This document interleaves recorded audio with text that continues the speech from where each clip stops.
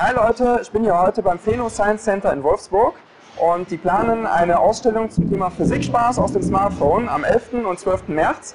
Ähm, also sind wir mit VFox hier genau an der richtigen Stelle und äh, die folgenden Bilder sind einfach nur kurzer Teaser zu weiteren Informationen, die dazu noch folgen werden. Viel Spaß!